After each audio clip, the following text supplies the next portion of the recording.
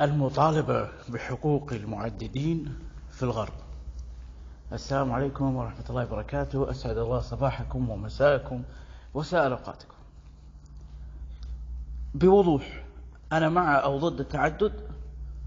بالطقاق برأي أي أحد وبرأيي أنا بعد. وإذا هو شرع؟ إيه. إيه. أنت تبي تتزوج؟ عليك بالك ما تبي تتزوج؟ كيف؟ تبي تقعد عزوبي طول حياتك. وإذا مو فارقة معي ولا يهمني ولا شيء. إنما هذا الموضوع إذا هو ما هو حث على التعدد ولا حتى أي شيء. هو بكل بساطة إعمال العقل. ونحن نعمل العقل في إذاعة مخ. أهلا وسهلا بكم في إذاعة مخ على تطبيق سبون واليوتيوب. لا تنسى الاشتراك والإعجاب والتعليق الإيجابي والانضمام لمجموعتنا في التليجرام. والآن ندخل في صلب الموضوع. نتفلكس ديزني وشركات كبرى ترفيهية وشركات غير ترفيهية حتى دوائية وشركات سيارات وشركات ملابس يرفعون عالم المثلية. سلوك جنسي الرفع له علم. بس خلونا نتأمل هذا الموضوع. بدون كل العوالق الثقافية التي غزتنا ووشوشت أذهاننا بدون هذا كله شنو هي مسألة المثلية؟ دول دول ترفع علم سلوك جنسي في سفاراتها؟ مذيعة السي إن إن بالإنجليزي. تسأل رئيس كينيا. سؤال واضح. تقول له السخافة هذه إل جي تي بي كيو شنو؟ شنو شنو و plus آخر شيء بعد. تقول له أنت مع حقوقهم؟ وقال هذا ليس من أولوياتنا وإحنا لنا خصوصيتنا كمجتمع أفريقي كيني. وهذا موضوع لا يناسب مجتمعنا. أنا رئيس دولة شعبي ترى ما هو مهتم؟ اللي معارضني أو اللي معاي ترى والله مو مهتمين بهالسالفه في أمور أهم. واقفة كيني على هالموضوع يا مذيعة السي شنو شنو ردت عليه مذيعة السي قالت له you will get yourself into trouble. أوقح من هالشيء ما شفته وراها طول المقابلة تقعد تخزه كأنها هي مدرسة وكأنه هو تلميذ. وهو بكل حكمة وهدوء يرد عليها. بهدوء ولا ينفعل رغم إنها حركاتها استفزازية. وتناظره كأنها هي ومعبسة ومكشرة وجهها. كأنها هي راح توبخه. أنت مذيعة. دولة أخرى. ما لكم سيادة على كينيا. تقولين له لأنه ما قال حاضر مولاتي غصبا عن خشمنا راح نصير نفسكم. لأنه قال بس بكل بساطة ودبلوماسية قال هذا ليس من أولوياتنا ليس من أهمياتنا. حتى ما قال إن هذا موضوع ما يهمنا نهائيا قالها بدبلوماسية قال هذا ليس من أولوياتنا. يعني هدأ الموضوع. تقول له you will get yourself into trouble. شوفوا المقابلة بالسينما. شوفوا بالإنجليزية. يعني شنو مذيعة دولة أخرى تكلم رئيس دولة ثانية وتقول له you will get yourself into trouble. تعرفون شنو معناته you will get yourself into trouble راح تدخل نفسك في مشاكل. ليه؟ لأنه ما قال حاضر وغصبا عن خشمنا إحنا نطيعكم ونصير مثليين. غصب يعني. استعلوا. وبعدين سائر أنواع الانحرافات الجنسية حطوا لها إعلام. ومسميات مبتكرة. محورة من المسمى الأصلي. وفي كلمة مذكورة في الحديث النبوي الشريف. تصف من نحن الآن تأدبا نسميهم الشواذ. إنما اسمهم الحقيقي. لو أقول أنمنع من اليوتيوب. ولكن هو الاسم الصحيح والمذكور بالحديث النبوي بأنهم ملعونين ويطردون من المنازل. لأن هذيل السم أنت لما تخلي واحد ما هو مضبوط عنده ميول ما هي طبيعية هذا شو تخليه ويا أصدقاء الأب أو مع أصدقائه أو مع أبناء عمومته مصيبة ترى. هذا أنانية الغرب تخلي المواطن فيهم ما تفرق معه أن أخوه أو أخته فيهم انحرافات لأن يعيشون بأنانية. فما يخافون على انحرافات جنسية تشرخ الكيان الأسري لأن ما في كيان أسري. بس إحنا عندنا لو واحد انحرف ترى هذا فلان ابن فلان آل فلان الفلاني اللي انحرف مصيبة. ليه مصيبة؟ لأن بالأساس له قدر. وهذا أصح سيكولوجيا أنه يكون له قدر يكون له قيمة. محسوب على جماعة محسوب على ناس. في انتماء أسري في دفء أسري. بس لما الواحد يكون ما له قيمة عند أهله فأكيد لو يعتبر نفسه أنه أي هوية عادي أكيد راح يكون عادي لأن من الأساس ما له قيمة. فهذه أمراض غربية. أكلنا أكلهم ومرضنا أمراضهم. نفكر أفكارهم نمرض أمراضهم النفسية. إحنا أكلنا أكلهم مرضنا أمراضهم الجسدية. نفكر أفكارهم نمرض أمراضهم النفسية. هذا واقع. فهم علوا واستكبروا. فأنا بس بقول شغلة بسيطة. أنا كعربي مسلم أنا سأمت من حالنا إن إحنا نتخذ وضعية الدفاع الثقافية هذه. ليه ما نطالب بحقوق المحجبات في المدارس في كل الدول الأوروبية والغربية ونرغمهم ونجبرهم على هذا الشيء؟ ليه ما إحنا نزاحمهم ليه ما إحنا نشغلهم في عقر دارهم ثقافيا؟ ليش ما إحنا نقول أنتم ما عندكم قدسية للزواج؟ ترتضون زواج المثلية وهذا محرم في دينكم. وعندكم عادي. إن واحد شاذ يتزوج شاذ ثاني. أنتم عندكم إن هذا الشيء عادي.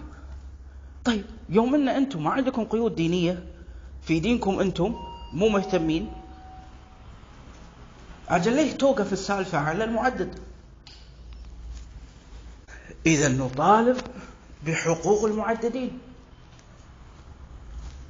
مزاحمة لكم. ومنسوي لهم علم. وشعارات وصبغة من الألوان خاصة له نزاحمكم فيها. ونأذيكم فيها. راح تتقبلون المعدد ولا بتسوون أفلام ومسلسلات كرتونية تطنزون وتستهينون بالمعدد؟ ليه المعدد مهان عندكم؟ والشاذ يرفع عليكم قضايا إذا أنتم جبتوا سيرته. واليهودي يقول لك أنت معادي للسامية. طيب إحنا العرب إحنا ساميين بعد. معادينا لين قالوا بس. أحد منه من الوطن العربي فتح فمه وقال إحنا ساميين بعد ترى أنتم معادين للسامية؟ لأن إحنا مشغولين بالدفاع. ما نفكر في محاججتهم في مصادمتهم ثقافيا بالحجة. هم مو دائما يقولون أنتم معادين للسامية؟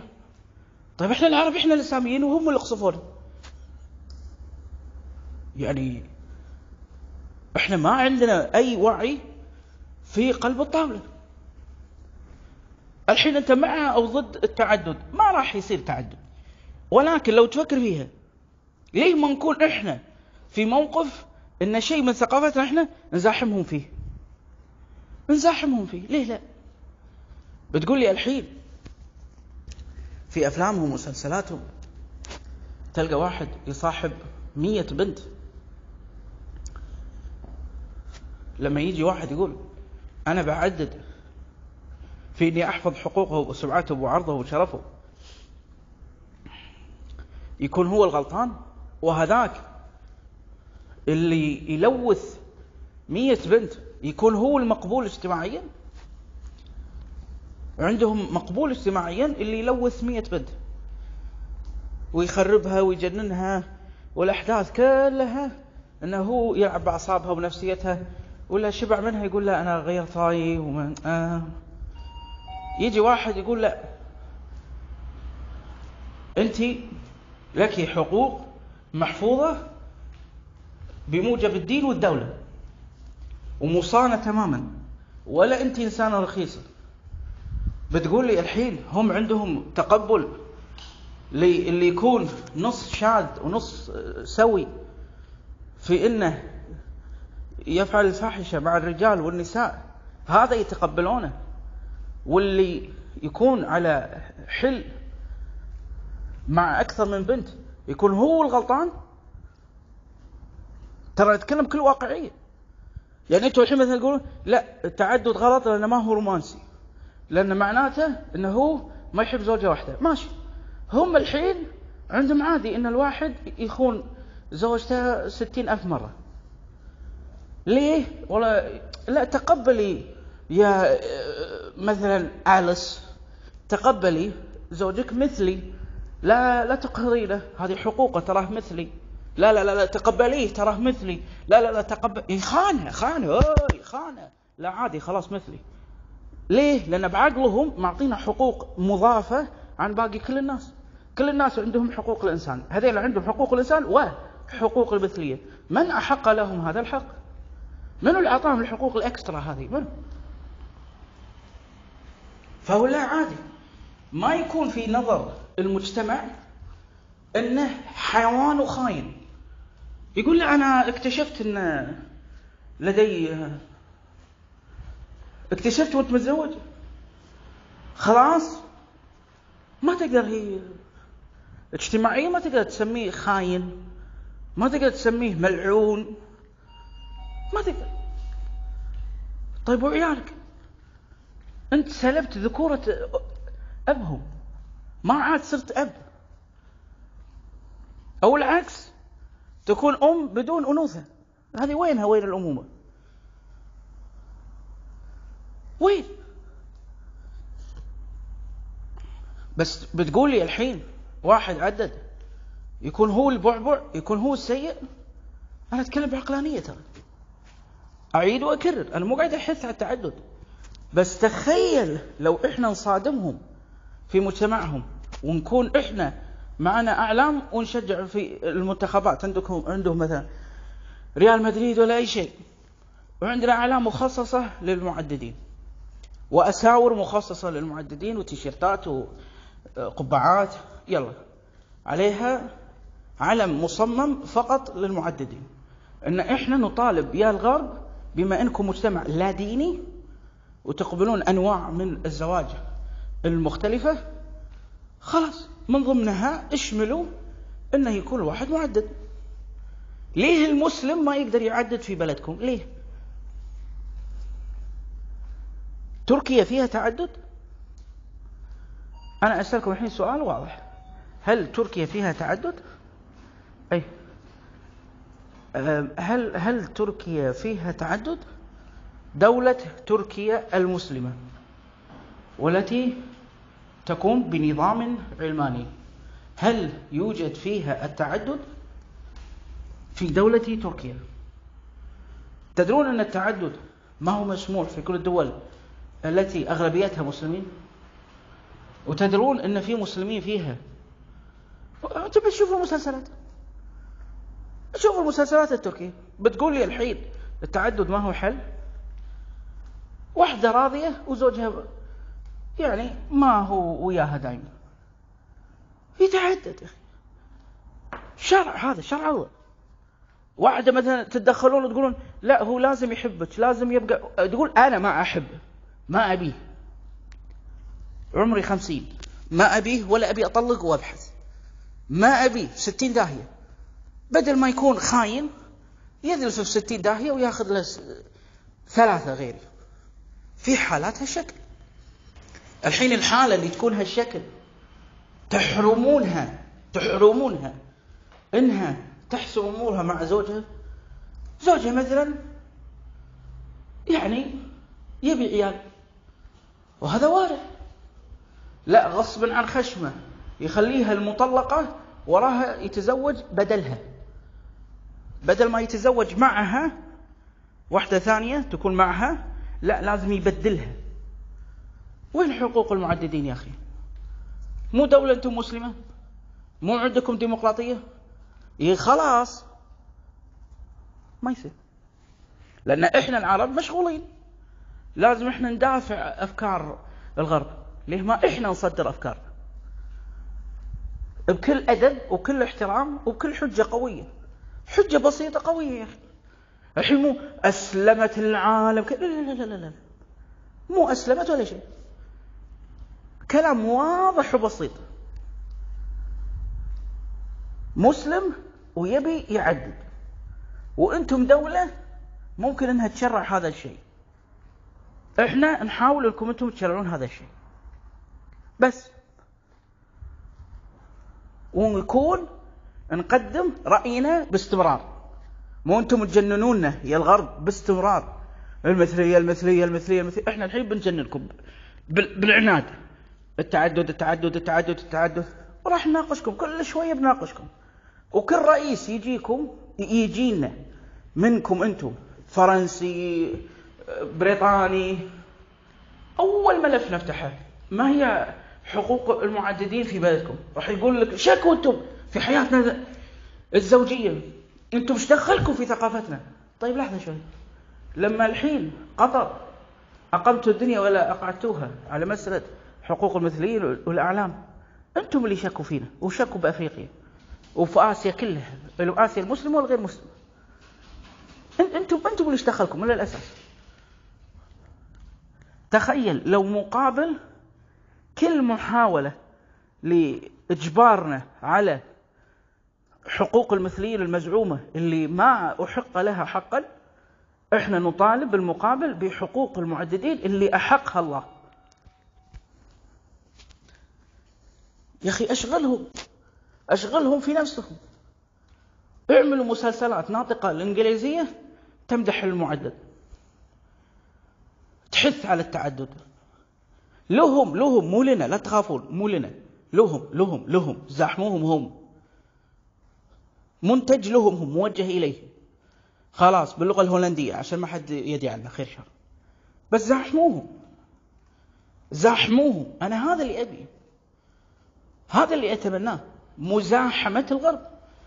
شيء هم ما يقبلونه. إحنا بنأذيهم ندري إن هذا ما يقبلهم. بنخليها ورقة ضغط عليهم. يعني الحين في المحافل الدولية يتطنزون على الدول الإسلامية ويصفونها بأنها المتخلفة. لأنها لم تدعن للانحرافات الجنسية؟ يعني الحين بس بسألكم أعطوني مسلسل أو فيلم حديث البطل ما كان يحب أكثر من واحدة وما كان محتار من أكثر من واحدة. وهل في أفلام أن واحد اكتشف أو واحدة اكتشفت بأنها بأن لديهم ميول شاذة وبعدها هدموا كل كيانهم الأسري هدموه كله سووه في الأرض. ياما. لأن توجههم غلط ومنهجهم غلط.